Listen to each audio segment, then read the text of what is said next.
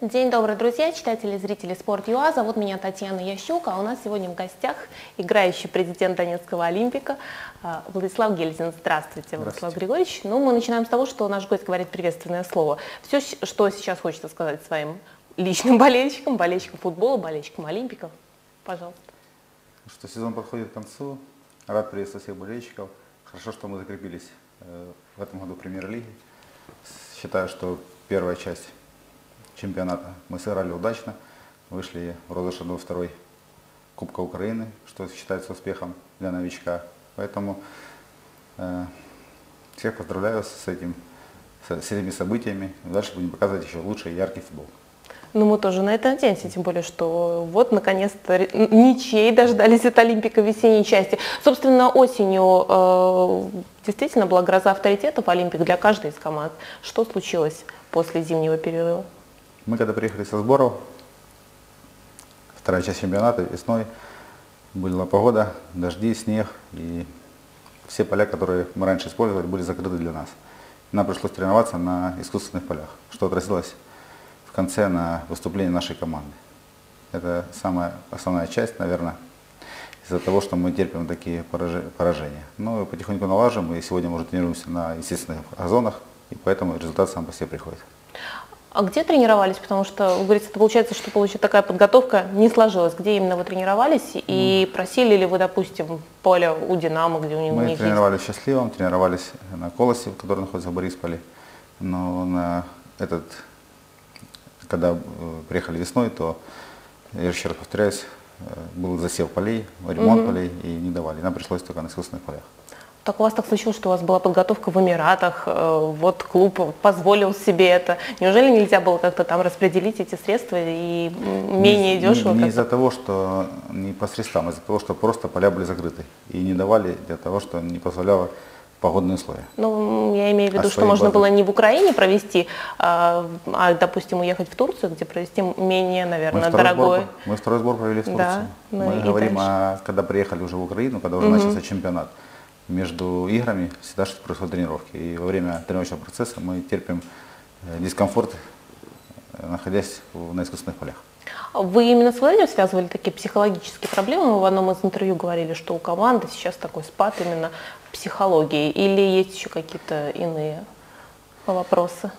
Были еще вопросы, которые мы с ребятами собрались, все вместе проговорили и перешли этот рубеж и решили дальше идти с чистого листа.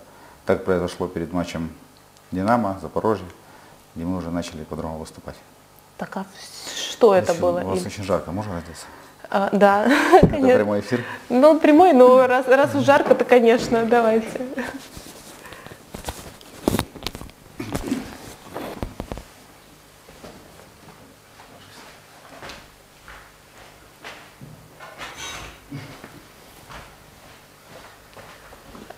Я вот цепляю. Да. Так.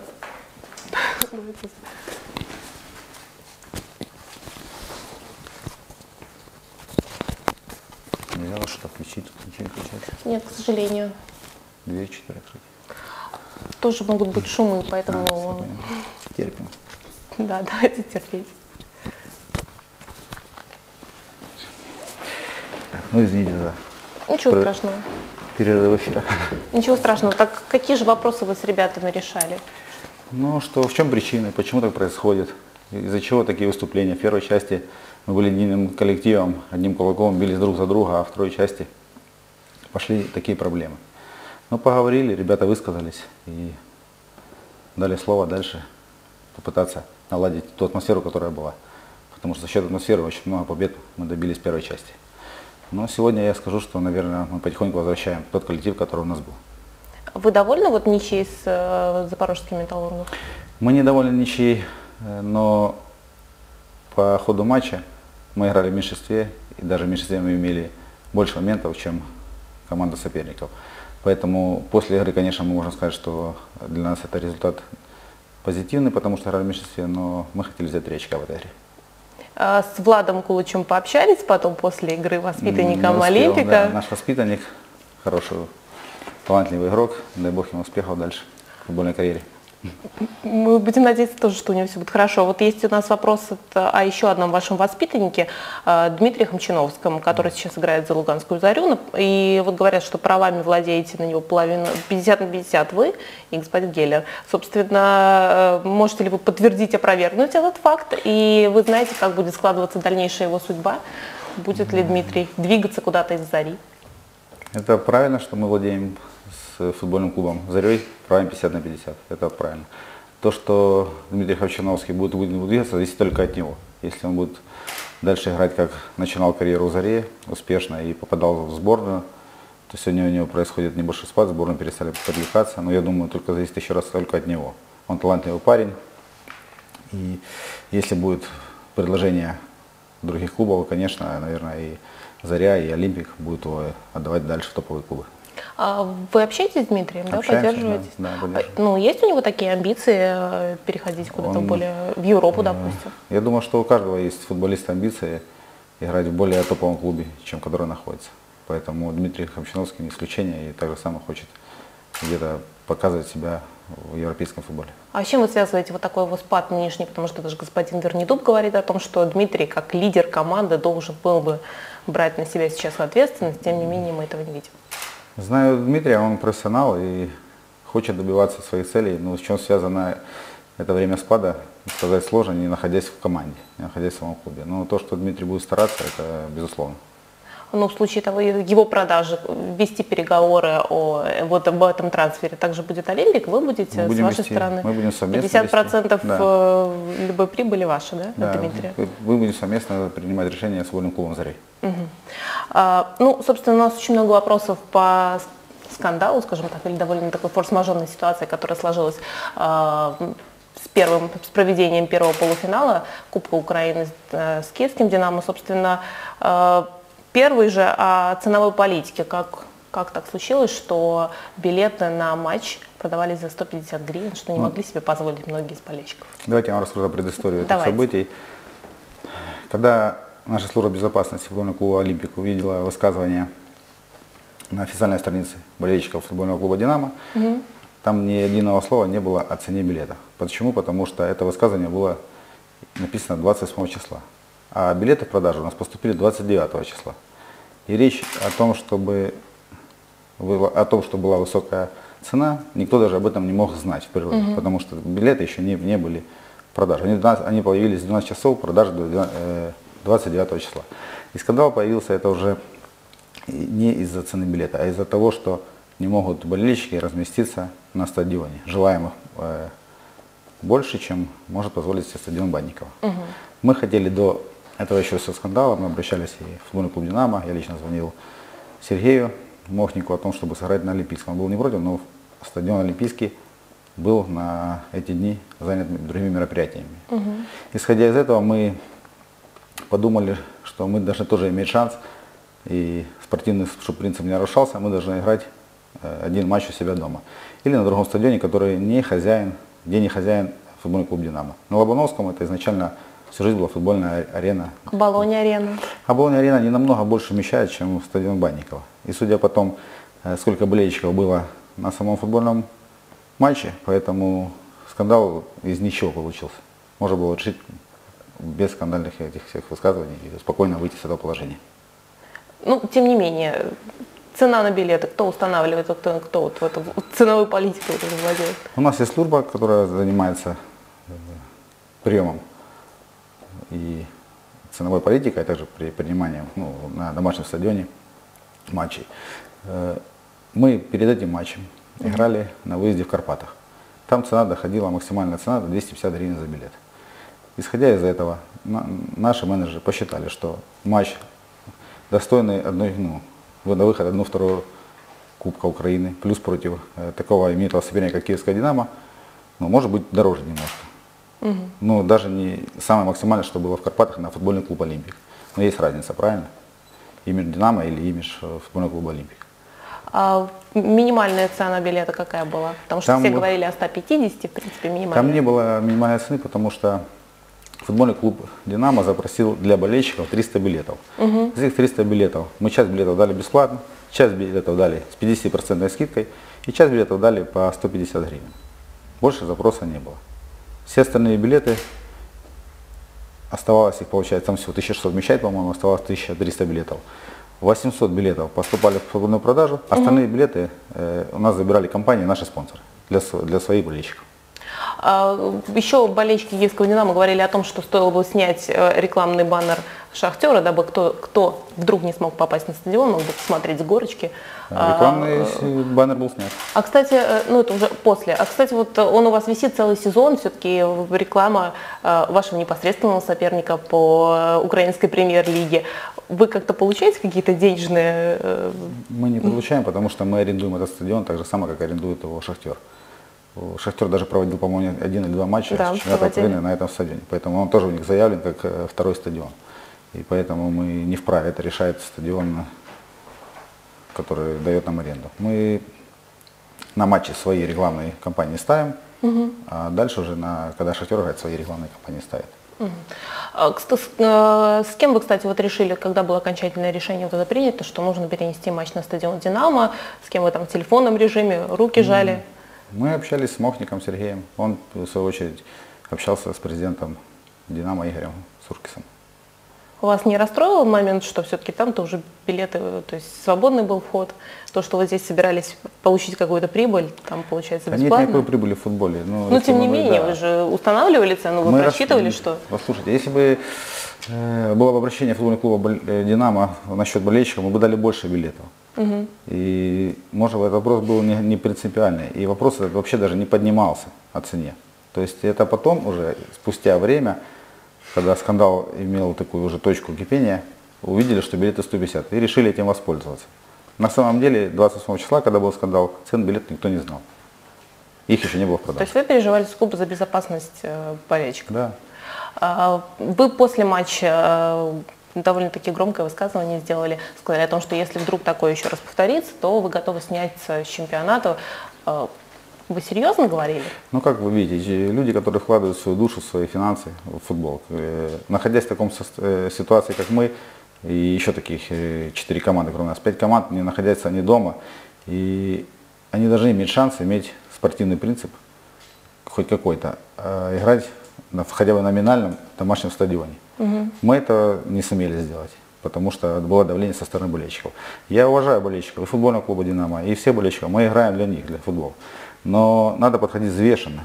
Ведь э, взять сегодня футбольный клуб «Динамо» уровень и футбольный клуб «Олимпик». Да? У нас разные цели, разные составы, разные финансовые возможности. То есть э, нам шанс играть на Банникова, наверное, хоть какой-то есть, хоть как-то сыграть против них достойно. Оно ничего не поменяло, то, что мы сыграли на Лобановском, мы сыграли неплохой результат, скажем, для Олимпика, ничего. Но, еще раз повторю, нельзя нарушать принцип честной игры. Вы визуально сколько болельщиков насчитали на стадионе «Динамо»? Я думаю, 2,5-3 тысячи, не больше было. То есть как раз с горочкой возле дома футбола как раз М- Мало того, что с горочкой. Возле дома футбола мы, когда поднимался ажиотаж, Просто мы тоже поздно кинулись, мы не знали, что такой же будет ажиотаж. Мы начали обзванивать все сайты, кто может быстро воздвинуть быстрые трибуны. Но они не успевали по возможности сделать. Мы пошли бы на, на шаг этот, если бы, просто это никто не знает. Мы бы пошли бы на этот шаг и заплатили бы за эти трибуны, чтобы люди могли прийти на стадион смотреть. Но сказали, для этого надо 4-5 дней. Угу. Ну, вы только что говорили о такой, ну, возмущенно довольно-таки о ситуации, которая сложилась, а потом на сайте официальном Олимпика появилась благодарность Федерации футбола. Это Объясню. у вас кто-то такой ироничный не, или нет. вы? Здесь, здесь, здесь объяснение, потому что за два часа до начала матча угу. органы милиции сказали, привезли письмо о том, чтобы не могут гарантировать порядок на стадионе и, и рекомендуют матч это чтобы был отменен или перенести. Мы быстро связались с футбольным клубом «Динамо», быстро связались с Федерацией футбола, премьер-лига о том, чтобы и с каналом футбола. Если есть возможность, давайте выходить из положения, чтобы перенести матч на стадион «Динамо». «Динамо» пошел навстречу, за это мы поблагодарили. Угу. Футбольный, э, Федерация футбола пошла навстречу, премьер-лига пошла навстречу, и канал футбол быстро отреагировал, э, они попросили время. 4 часа для перевоза своих вышек и всех, всего необходимого оборудования. Поэтому было высказывание благодарности в адрес всех этих э, коллективов, которые пошли навстречу. Ну, с вечера вы им угрожали немножко? А с, с вечера уже. мы не угрожали, мы говорили ситуацию, и мы не высказывали в адрес футбольного клуба «Динамо», а мы говорили, что под давлением и натиска болельщикам это неправильно, играть там, где хочется болельщикам. Есть номинально домашний стадион. Есть э, принципы честной игры, которые никто не отменял. Угу. Хорошо, вот а, уже после матча тоже почетный президент Федерации футбола Украины Григорий Суркис высказался о том, что в принципе матчи украинской премьер-лиги и уже если таких высоких стадий Кубка Украины нельзя проводить на стадионе Банников, что этот стадион не должен получать лицензию. А, ну, наверняка к нему прислушиваются. Вы уже задумываетесь о том, где вы будете играть в следующем сезоне? Знаете, хорошо махать шашкой, когда после войны. Если бы Игорь Михайлович высказался до этого – ситуации. А когда уже такое случилось, и когда сказал, когда сказал, имел точку такого кипения, конечно, Игорь Михайлович высказался. И может и вправе он, что такой стадион не нужен для премьер-лиги в это время. Но, с другой стороны, а где играть командам, которые сегодня находятся вне стенах дома? Где играть нам? Или нам снимать на стадионы, которые, за которые сегодня в это время просят больше, чем просили бы в обычное время? А где брать финансы тогда на эти стадионы? Сегодня, допустим, за стадион Оболонь, когда мы только приехали в Киев, просили 120-150 тысяч гривен за каждую игру. Но это, нам это больно, допустим, за каждую игру так платить. Стадион Банникова нам обходится 25 тысяч гривен аренда. Есть же разница? Ну, вы говорили о том, что... Э, Можно, наверное, сделать так, подход э, в матчах, где мы видим, уже прошел год почти, где мы видим, что на футбольный клуб «Олимпик» не так много болельщиков собирается, угу. то можно допустить стадион Банникова но с условием, что если игра будет э, против Динамо или там, против Шахтера, против тех клубов, которых много э, приходит болельщиков на стадион, тогда можно переходить на другие стадионы. Так, наверное, было бы правильно. То есть вы все-таки планируете оставаться Если на нам разрешат, да, нам комфортно. Потому что мы сегодня не знаем, где играть. Если стадион Банникова запретят, нам куда выезжать? Мы хотели бы поселиться в Борисфене, э, в Колос, в Борисполе. Угу. Но по требованиям там надо делать реконструкцию. И Федерация футбола не пропустит этот стадион сегодня. Хотя мы бы с удовольствием играли бы там. А, вы говорили о том, что, да, вот вы только что сказали, 25 тысяч э, стоит аренда стадиона, но она выросла, да, в течение сезона. С кем вы ведете вообще переговоры по поводу вот аренды и... Ничего, она не выросла в течение сезона, так и Вы говорили, что там тренировочная, допустим, э, трени... тренировка... Тренировка выросла, а аренда стадиона на матче осталась, осталась, как и осталась. Да. Угу. Так, а причины того, что трениров... э, стоимость тренировки на, на Я поле Я не могу назвать эти причины, не мы же выставляем. Ну, то есть вы да. просто идете уже так, ну не то, что вы сказать на поводу, но тем не менее но вы просто нет, принимаете у нас, условия. У нас, э, если бы был какой-то другой вариант, мы бы шли бы, конечно, там, где есть футбольные газоны хорошего качества с уменьшенной стоимостью. Но сегодня все поднимают цены, и исходя из этого мы вынуждены с этим смириться. Угу. А, Олимпик, говорят, в последнее время, вот не считая матча с э, Металлургом Запорожским, всем проигрывает. Верно ли считать, что клуб не настроен выступать в Еврокубке? У вас разве нет такой мечты? Как это нет? У каждого футболиста и у каждого руководителя футбольной команды Олимпики, в том числе, наверное, всех клубов, э, есть мечта и цели, задачи, которые ставят перед собой. Мы не исключение, мы ставили, после того, как мы закончили первую часть чемпионата, мы находились на четвертом, пятом месте, конечно, нам задержаться хотелось бы там на этом месте и выступать в Еврокубковом турнире. Но я еще говорю, из тех причин, которые я уже назвал раньше, что нам не позволило достойно выступить во второй части. Конечно, у нас есть такая цель и задача, и вот у нас есть шанс пробиться через кубок, мы будем ставить задачи пробиться, они, вернее, поставлены уже. Но получится или нет, мы же играем все-таки с такими клубами, как «Динамо», и там остался «Шахтер» и «Днепр», то мы еще «Динамо» не прошли, и у них дома играть будет гораздо сложнее. Угу. Господин Санжар говорил о том, что в принципе он считает, что может даже и не нужно, ну не так, конечно, это я сейчас, а, о том, что э, нет футболистов, которые могут в принципе играть в Лиге Европы или там достойно. А, вы об этом задумываетесь, что вот возможно даже не стоит выходить в Еврокубки, поскольку все равно неким играть? Ну, я, я не так бы говорил, что неким играть. Все-таки есть футбольный клуб, и мы некоторые часть игр показывали очень достойно против тех же хороших соперников, которые сегодня находятся выше нашей, нашей турнирной таблицы. Но, конечно, надо укрепляться. Исходя из того, что сегодня нам сложнее не в этих, не то, что нет футболистов, нам сложнее в других аспектах. У нас нет своей тренировочной базы, угу. она то есть, но она находится дома. Мы не, у нас нет э, достаточно тренировочного процесса, у нас нет своего стадиона, который позволяет принимать Еврокубки. Вот с этим связано. И, и то, что называет Санжар, Роман, тоже достойный футболистов, которые могли бы нас еще усилить. Это все вместе, конечно, не позволяет нам э, было бы успешно выступать. Не то, что в Еврокубках, а и в чемпионате Украины. А как так случилось, что прям по ходу сезона Дорошенко и Иванов собрали вещи и ушли из команды? Это как так? Э, во-первых, я хотел бы высказать благодарность этим двум ребятам, Иванову и Дорошенко, за то, что много лет футбольной карьеры они отдали Олимпику. Мы вместе вышли с первой лиги в премьер-лигу, за что им спасибо. Они игроки основного состава были всегда. Но они, видно, выросли уже, и у них есть предложение других клубов. Угу. И когда мы с ними разговаривали о продлении контракта, они честно сказали, что мы хотим играть уже дальше в клуб, у нас есть предложение. Мы с ребятами пожали руки и сказали, хорошо, мы вам желаем удачи. И вот так вот произошло. Так, а почему же не доиграть до конца сезона, а потом точно так же пожать руки и перейти в другие команды? Коллектив чувствует, когда ребята уже находятся в другой команде. Это ощущается. И поэтому мы расстались с ними по-дружески и приняли такое решение, которое вы сейчас говорите. Вы можете назвать э, клуб, или, возможно, это два, два разных клуба, куда ребята ушли? Я не знаю. Ну, так, а вы же говорите, что они уже в другой сказали, команде, они уже они подписали какие-то контракты. Нет, подписали не могли, у них контракт Ну вот. Они сказали, что у них есть предложение, куда они уходят. Угу. Ну, раз есть предложение, мы пожали руки, и все. У них зарплата сохранилась, мы выплачиваем все финансовые До конца сезона вы выплачиваете им да. зарплату? Да. Но они с вами контракту. не работают, не тренируются? Так и... мы приняли решение об июне вместе с ними. Угу. Понятно, будем ждать. Будем ждать. А, собственно, есть у нас вопрос и по молодежной вашей команде. Какая роль в клубе выделяется э, развитию молодых игроков? Э, и говорят о том, что довольно сложно в топ-клубы или в топ-академии попасть. Все говорят о том, что нужно заплатить хорошие деньги, дабы попасть и играть э, в молодежной, юношеской или тому подобной команде в одном из, из топ-клубов. Как это, как обстоят дела? Я еще раз не понял вопрос, в смысле заплатить деньги?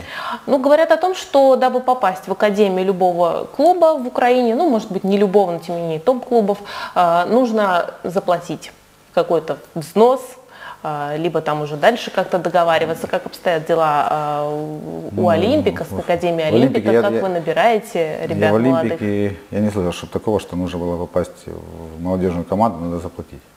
Единственное, за кого мы платили, это Федерация футбола за, легионер, за легионеров. Больше никаких мы платежей не делали. И, кстати, мы ни одного футболиста еще не покупали. Футбольный клуб «Олимпик» не покупал еще ни разу ни футболиста. Были расходы только по заявке, как легионера на украинский чемпионат. У вас Академии сейчас не существует, да? Ну, сегодня не существует. А что это за история, которую сегодня опять опровергал э, футбольный клуб «Олимпик», о том, что якобы э, молодежная команда Ю-19 играет на турнире э, на оккупированной территории в Донецке. Просто журналистам надо иметь этику журналиста, который выбрасывает такие всякие утки для того, чтобы повышать какой-то свой рейтинг. Я думал, что этот вопрос будет. Мы успели связаться с Донецком. Если его камера видит. Да, да. Календарь игр памяти Старухина. Угу. Здесь ни одного слова нет о том, что Олимпик играет. Мы потом вам оставим, вы посмотрите. Заявка на участие в Кубке памяти Старухина по футболу команды города Неск. Все фамилии с подписью печатями. Второй документ. И самый последний документ. Мы обратились, сделали запрос в Федерацию футбола города Донецка, Звягинцеву. На что он ответил? В ответ на ваш запрос такого-то номера 08.05.2015 года сообщаю, что традиционный 15 турнир Кубка памяти Старухина 2015 года, проводимый Федерацией футбола города не сохранился никакой либо политической окраски. Сообщаю состав участников турнира памяти представителей команд. Группа А. Победа, УОР, СДШОР, СДШОР-2. Группа Б. Угу. Кировец, СДШОР, Донбасс, Моспина. Правдивость информации, выплеснутой статье интернет-ресурсов УАФутбол, пусть остается на совести анонима ее опубликовавшего роспись, печать. Угу. А где, кстати, сейчас те ребята, которые играли за молодежную в академии, в принципе, занимались? У нас была академия, у нас тренировалось э, больше 200 детей. От 6 и 7 лет и погодки были каждая группа. Э, как начались события, связанные с ситуацией в стране, то мы не имеем морального права оставаться там и тренировать детей, потому что они могли подвергнуть быть их жизни. И поэтому мы приняли решение распустить академию и дали всем возможность, э, где они бы трудоустроились, получить статус свободных агентов. Вот так произошло с нашей академией. Сегодня у нас ни одной тренировки не проводится на нашей базе тренировочной, ни одного матча за все это время не сыграно. А вы как-то ну, получаете информацию о том, в каком состоянии сейчас находится инфраструктура Олимпика в Донецке? Конечно, получаем. А, и? У нас и до сих пор следят наши агрономы, наши озеленители за полями. И так случилось, что место расположения нашей футбольной базы находится чуть-чуть в стороне от аэропорта и тех событий, где попадали э, военные действия. Но сегодня можно хоть сейчас принимать команды, хоть сейчас стадион готов, хоть сейчас тренировочная база готова. Поэтому на надлежащем уровне все содержится и вот такая ситуация. А, вы говорите о том, что Олимпик до сегодняшнего дня ни разу не подписал игрока. Все приходили свободными агентами. Вы как-то будете менять эту, эту тенденцию, эту традицию? И, и есть ли там уже бюджет на лето вот, э, на трансферную кампанию? Если бы не ситуация в стране, и были бы мы все дома, и наша финансовая составляющая была бы хотя бы на том же уровне, которая была год назад, мы бы могли себе позволить какие делать э, покупки хороших футболистов. Но сегодня мы возможности такой не имеем. Угу. Ну, бюджет команды изменился с, э, ну, вот тем, что вы сейчас сюда переехали, а, и каков он вообще? Ну, какого вообще, наверное, говорить мы не будем, а то, что изменился в большую сторону, конечно. Мы же все в аренде. Тренировочные поля в аренде. Ребята сняли 7 квартир. Э, стадион в аренде. Мы все, что денежах связано с футболом, мы везде платим за аренду. То, что мы везде имели свое у себя дома. Угу. Но тем не менее вы заявляли в одном из интервью, что в отличие от многих команд украинской премьер-лиги в, Доне... в Олимпике задолженности по зарплатам нет. Нету. На сегодняшний день ни одной задолженности. Не только перед футболистами, вообще ни перед одной структурой футбольный клуб Олимпик задолженности не имеет. А вы можете сказать, например, минимальную зарплату, которую получает футболист э, Донецкого клуба «Олимпик»? 35 тысяч гривен. В месяц, да, или у вас? В месяц. Угу. Вы, ну, был, был такой разговор о том, что стоило э, делать потолок зарплаты украинской премьер-лиги. Вы за? И вообще это осуществимо? Я думаю, что нет. Что, думаю, не, что неосуществимо или вы не э, против? Я думаю, что неосуществимо. Смотря какие цели ставит клуб. Если цели ставит клуб, как Динамо и Шахтер, бороться за, и как уже Днепр ставит цели, бороться за чемпионство в Еврокубках. Поэтому угу. приглашая европейских футболистов, там, или бразильцев, там, или испанцев, ну, в любом случае, каких-то футболистов, которые топовые, могут помочь усилить команду, то здесь потолок не вместим. Если мы хотим у себя вариться и не поднимая рейтинг наших футбольных клубов, тогда можно об этом говорить. Но я считаю, это неправильно. Каждый футболист вправе решать сам свою политику и какие задачи ставит, должен решать только клуб. А, ну, есть такие слухи, вы же знаете о том, что поскольку вот э, довольно сложная такая ситуация у Донецкого Олимпика, якобы а, представители Олимпика зарабатывают деньги несколько иным путем, они ставят ставки да, или играют договорные матчи. На... Это не слух, это канал про, программа про футбол, да, сделала такую телепередачу в адрес Олимпика о том, что мы можем делать какие-то махинации. Объявила в матче с Металлургом нашего футболиста Тищенко угу. о том, что непосредственно он, э, судя по сюжету, э, нарушал э, специально и шел на пенальти. Я еще раз повторяю, что футбольный клуб «Олимпик» ни один футболист, ни один работник, ни руководитель, ни в каких махинациях футбольных не участвует. А то, что про футбол телепрограмма «Ему Хойса», э, давно слитая по рейтингу в унитаз, наверное, команд, э, программа. Так пусть она поднимает себе рейтинг другими методами, честными, которые присущи этике журналисту, а не такими методами. Но вы когда, когда вас обвинили, допустим, так журналисты э, в том, что матч был нечестный, вы как-то там себе посмотрели дальше, проверили, какие были ставки или что-то. Просто мы, например, тоже проверили, и так как-то случилось, что даже после того, как Олимпик впервые выигрывал, э, все равно ставки на победу э, Металлурга Донецкого совсем чуть до 10 выросли, а это, это очень мало. Это, это уже значит, как, что кто-то как, как, предполагал... Как мы можем проверить? Дайте, мы проверим.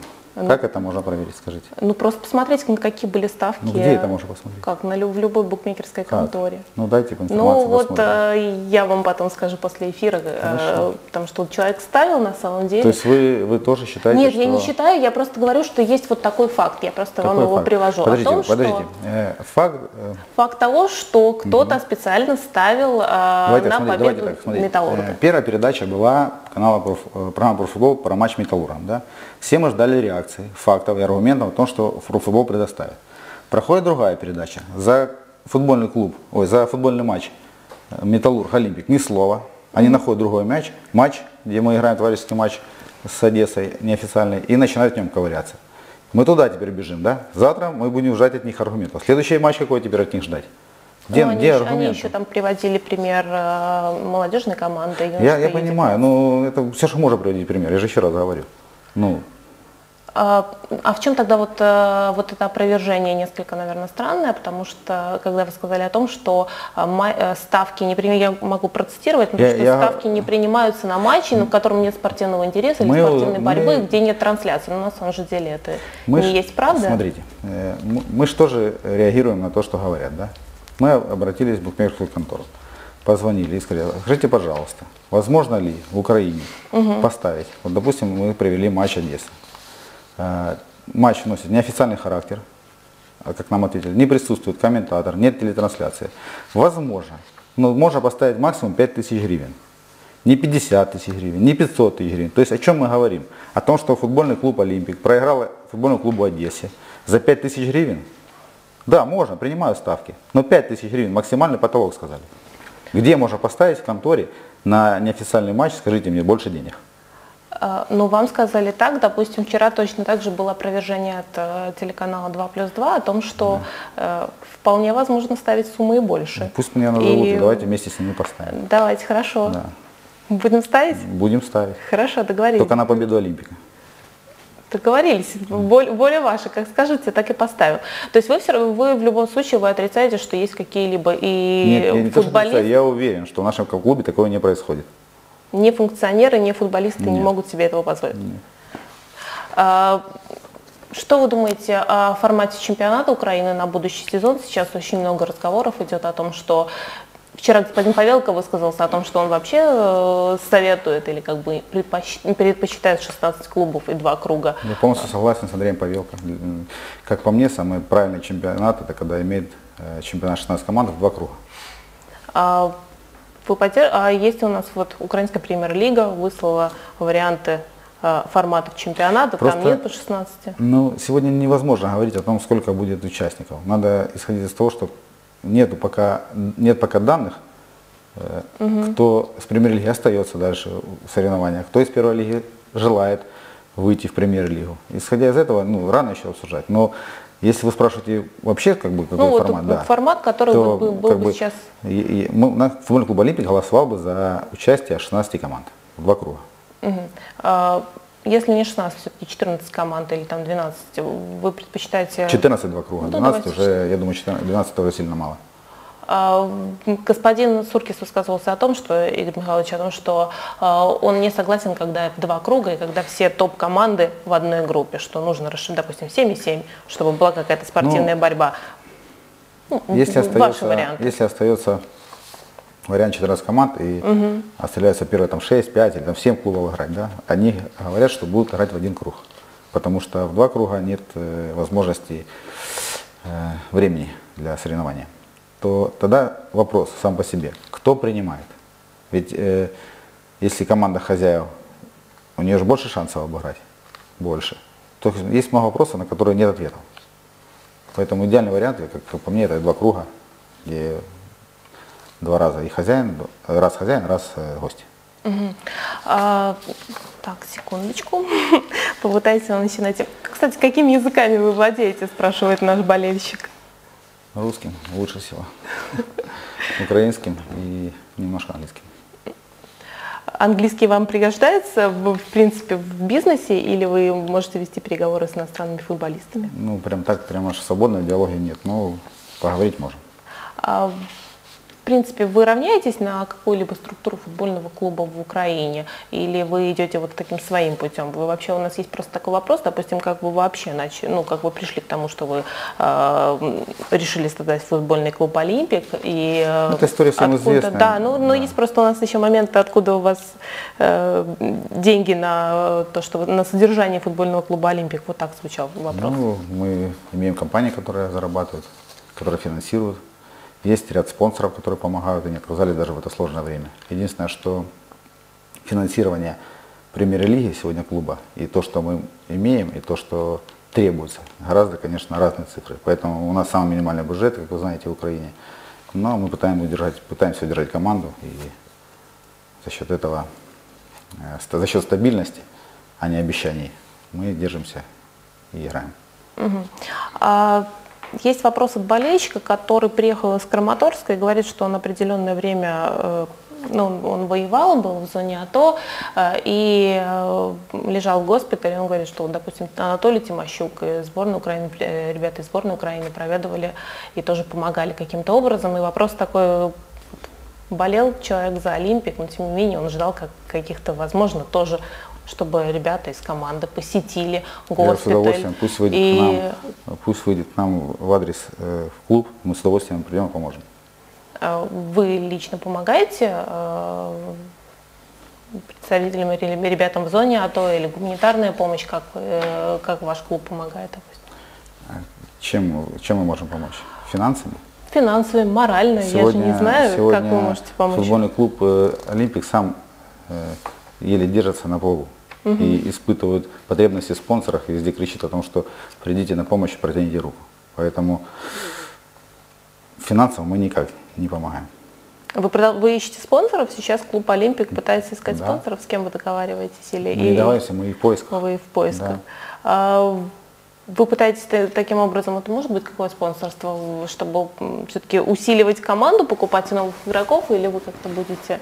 Ну, или, или что? Вот на что, вы, какие главные потребности футбольного клуба «Олимпик» сейчас? Ну, нам нужны тренировочные поля. Угу.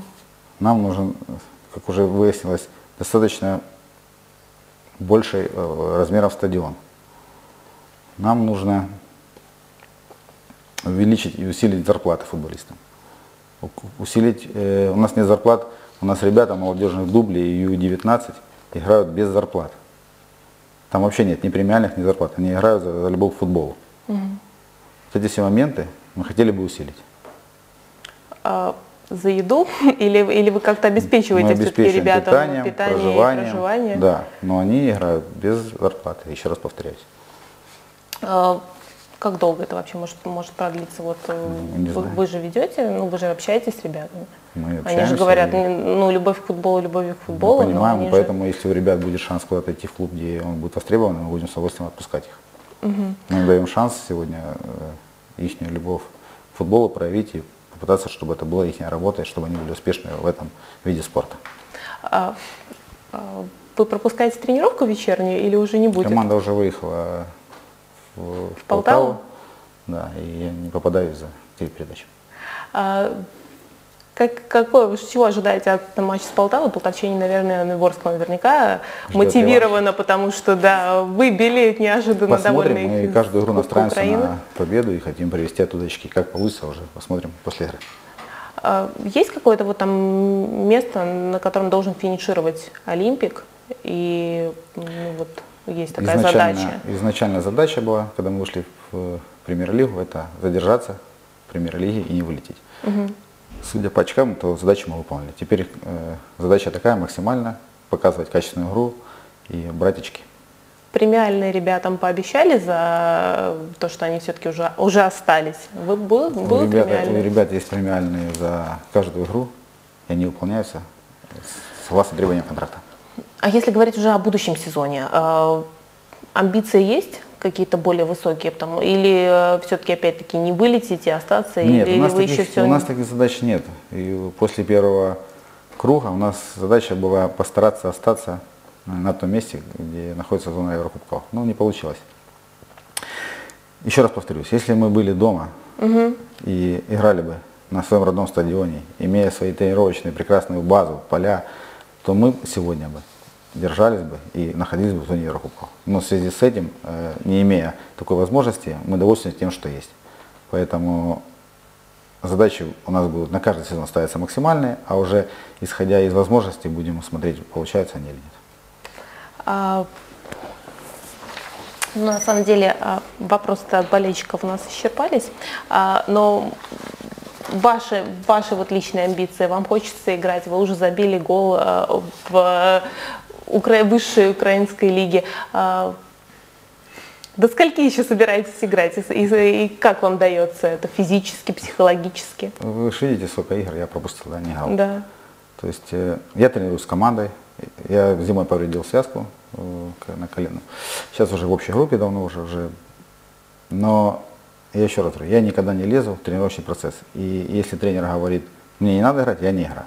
Если он говорит надо, я с удовольствием приду и буду давать все силы на футбольном поле. А, но ну, вот личное ваше, ваше все-таки. Я хочу- хочется еще хочется хочу еще играть, играть, играть Еще и забивать. хочется забить голы. С пенальти или с игры? Нет, с игры, конечно. С пенальти легче. Но хотя с пенальти тоже надо забить. Естественно. Ну, э, мы вам мы благодарим за то, что вы пришли, за то, что откровенно ответили на вопрос. Конечно, вам удачи. Спасибо вам. тоже. И Олимпику также удачи. Спасибо Да, большое. спасибо.